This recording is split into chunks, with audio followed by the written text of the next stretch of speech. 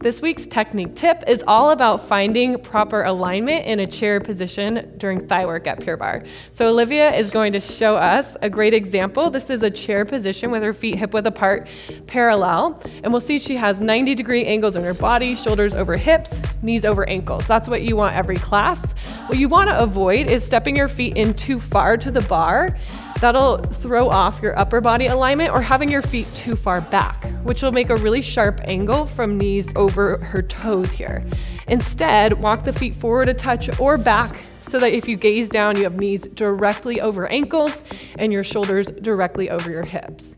And that's this week's technique tip.